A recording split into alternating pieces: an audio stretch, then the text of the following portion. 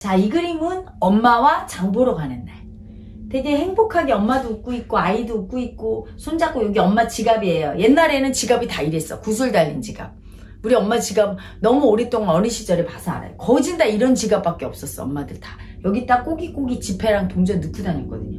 요걸 들고 이게 중요하지. 장에 가니까. 그리고 풍선을 사는 게 옛날 지금은 풍선이 흔하지만 옛날에 이거 하나 장에 가서 사면 하루 종일 놀아. 풍선 갖고.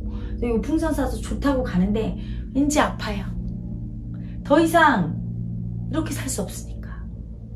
현대인의 아픔. 나는 어른이라고 하지만 사실은 이렇게 엄마랑 같이 장에도 가고 엄마의 보호를 받는 아기로 살고 싶은 마음이 있어요.